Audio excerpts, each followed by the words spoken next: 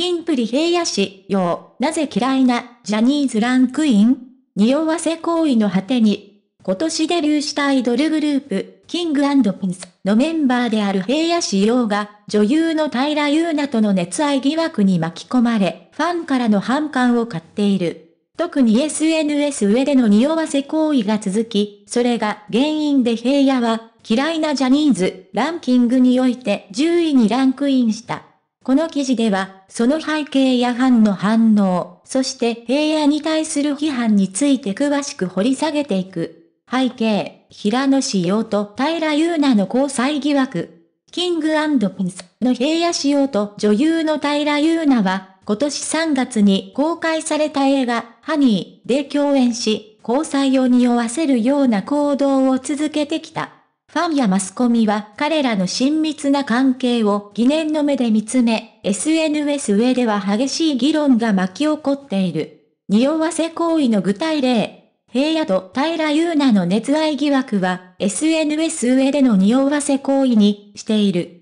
例えば、同じスマホケースを使用したり、同じポーズをとって写真を撮影したり、同じブランケットを使ったりといった類の行動が繰り返されている。そして最新の匂わせ行為として、平野が焦げ茶色のゴムを手首につけた写真を LINE ブログに投稿したことが挙げられる。これは以前から平野が行ってきた行動であり、ファンはこれを通じて再び熱愛を匂わせていると受け取った。ファンの怒りと反応。これらの匂わせ行為に対し、ファンからは様々な怒りの声が上がっている。ネット上では何がしたいのファンのことを考えていないの？といったコメントが見受けられ平野に対する不満や失望の気持ちが強わになっている。また、熱愛信じてないファンは何を考えてるの？といった声もあり一部のファンはこれが単なる偶然ではなく熱愛の兆候であると受け取っているようだ。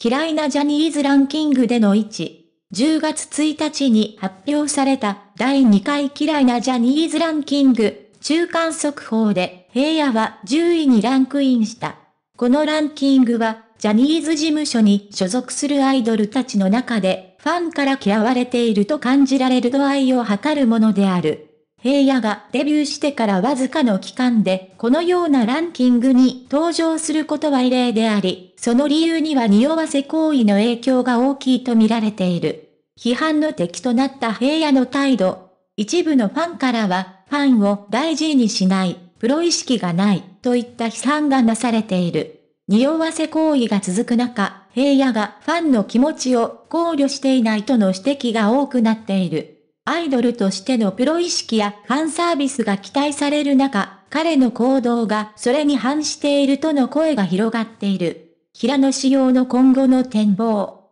平野仕様が嫌いなジャニーズランキングで10位にランクインするなど、彼の熱愛疑惑に対するファンの反応は様々である。一方で、これが彼にとってのプロモーションや注目度アップの戦略である可能性も指摘されている。今後、平野はこれらの批判にどのように対応し、ファンとの信頼関係を築いていくのかが注目される。アイドルとしてのキャリアを重ねる中で、彼が成熟し、プロ意識を高めていくことで、ファンの期待に応えることができるかどうかが鍵となるだろう。